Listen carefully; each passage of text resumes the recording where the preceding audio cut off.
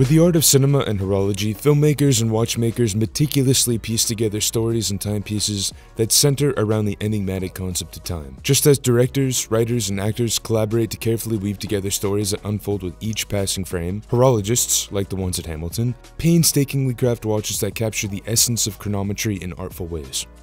Only the latest intersection of these two mediums is Hamilton and the feel-good Indiana Jones franchise. Up until this point, and we're talking about four feature-length films beginning with Raiders of the Lost Ark in 1981, Dr. Jones himself had yet to don a timepiece for any of his multi-continental escapades. This has certainly caused some speculation. Which wristwatch would he wear if given the opportunity? Would it even be a wristwatch at all? Naturally a mil-spec World War II era field watch, or at least something rugged and able to withstand the rigors of adventure. There's been ample opinions from cinephiles and armchair horologists alike, like the Hamilton Khaki Field all the way up to the Rolex Bubble Back. Though, with the fifth and quite possibly the last installment, The Dial of Destiny, the mystery is finally over. Indiana Jones, played by a gracefully aged Harrison Ford, dons the Hamilton Boulton Quartz, if we had thrown our hat in the ring prior to the announcement, it's a watch we didn't even have on our radar. Our friends at Hamilton were kind enough to give us a sneak peek at the film, while getting hands-on with the same gold-colored cushion case Boulton Quartz Dr. Jones sports in the film. Curious to see how it holds up away from the villainous chases, runaway boulders, and gunfights, we wanted to share our own thoughts about the featured Hamilton Boulton Quartz to give you a first-hand opportunity to see it in operation behind the scenes. So let's get right into it. We have to say, we think it looks absolutely fantastic on the wrist, but don't take it from us. Check it out on the wrists of the man himself. In the film, Dr. Jones has, how do we say this, gained a bit of wisdom, so to speak, after retiring from his usual death-defying episodes, and on the verge of actual retirement, with the archaeologist turned professor aimlessly drifting through the latest chapter of his life rather despondent and, well, bored.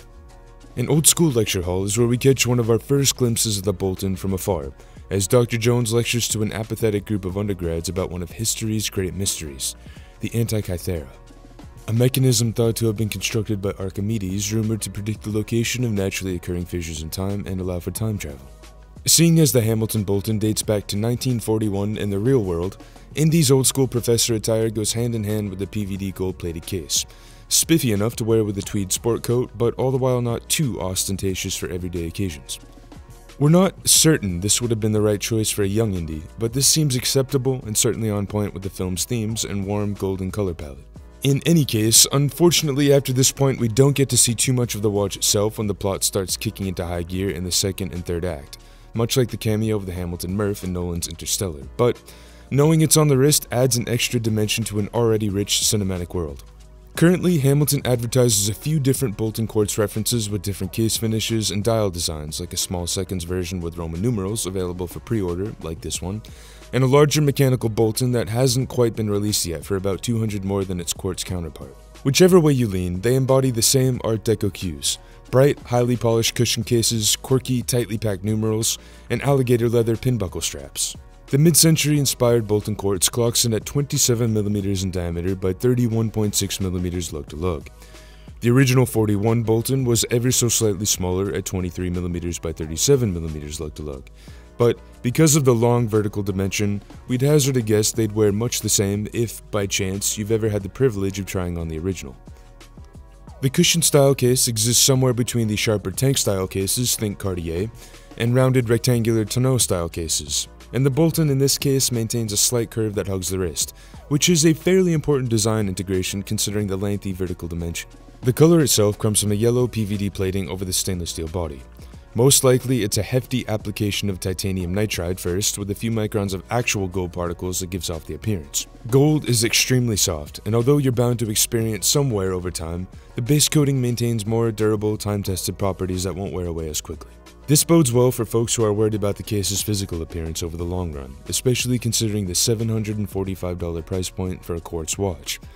Of course, this is just a prediction, as we haven't had years with the watch ourselves. On the backside, Hamilton uses a very minimalistic stainless steel case back with a bold H engraving, logo type, and the 3 bar or 100 foot water resistance rating via a tiny push-pull gusseted crown. We don't think this needs to be spoken, but we're going to speak it anyways. Don't use this underwater. In fact, leave it off for showers as well with that premium leather band attached. Hamilton possesses over 500 movie and television credits.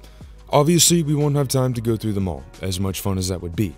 But some of the standouts are Michael Bay's war epic Pearl Harbor with the Hamilton khaki field, the jazz master born in Barry Sonnenfeld's 1997 sci-fi hit Men in Black, the Murph in Christopher Nolan's heartfelt space odyssey Interstellar, and now the Boulton Quartz in the capstone Indiana Jones film. Although the original Boulton was created before the franchise, unlike the Murph that was custom built in less than three weeks for the movie and then later reproduced and sold for the general public, the newest Boulton Quartz at least seems like it was created in the same fashion as the Murph. This is all to say that Hamilton has a proven track record of successfully working with productions to build or supply the perfect watch, and for us, that only adds to the Swiss watchmaker's rich history. Under the domed mineral glass, the case's gold color scheme rolls over to the dial on the raised Arabic numerals, handset, and subdial. This is the only Boulton quartz with Arabic numerals, as in, you'll find a cheaper silver stainless steel option, but the dial uses black Roman numerals instead. What they both have, however, is a centered subdial taking the place of the 6 with a railroad style track just like the original. In fact, the entire dial down to the typography of the numerals is almost a carbon copy of the 40s version. The numerals have whimsical properties, with almost hieroglyphic pointed serifs, and it brings some fun to an otherwise very formal handset and color scheme. Also, the background is off-white. While it is nowhere near a faux patina, the choice to go a bit warmer ties the whole look together very nicely. As fun as this watch is, and that's what it should be, there's going to be folks looking to rain on the quartz-powered parade with the $745 price tag holstered as ammunition. Frankly, this watch isn't about the movement. There's few that can say that, but why has the Arnie become such a cult hit? Exactly, its cultural significance, not the technical specifications, and anyone who knocks the Boulton quartz for its movement is certainly missing the point. If you're one of those people that are unable to have any fun, there's a mechanical version with the classic H50 caliber Hamilton just released on the heels of the movie's US debut, but you won't find a gold case version and it's larger at 34.5mm by 38mm. There are other options between quartz and pure mechanical, and I guess we'd ask Hamilton why they didn't consider using something else. Automatic mechanical, solar powered quartz. In any case, think of it this way, if it's good enough for Indy himself, shouldn't it be good enough for you? Hamilton builds in a beautiful 18mm faux alligator leather strap, brown in this case, with a matching set of gold buckle hardware. It's hardcore traditional, the leather has gloss over the top, and the print is about as close as you can get to the real deal without using actual alligator, which was quite popular in the 40s when the Boulton first saw the light of day. For obvious reasons, manufacturers shy away from this material now, but the leather replica is solid. Although you could certainly lean into this look for everyday wear if your style skews toward the preppy or business casual end of the spectrum, if you want to dial it down a bit, we'd recommend taking a look at a matted brown Horween leather unit. The Boulton Quartz, like the cozy John Williams score, the familiar cameos, action-packed set pieces, and of course, Indy himself, are steeped in heaps of nostalgia. You can't help but not love them for what they are. Is the Boulton the expected choice for Indiana Jones? Maybe not. We've searched near and far and no one had this watch in their sights, let alone a quartz watch of any kind. And while the Boulton Quartz may take a backseat during the film's high-octane sequences, its presence adds an intriguing dimension to an already captivating franchise that's continued for over four decades. Much like the fleeting cameo of the Hamilton Murph in Nolan's Interstellar, in the world of Indiana Jones and his companions, the Boulton has found its rightful place, cementing its status with the likes of other iconic cinematic watches.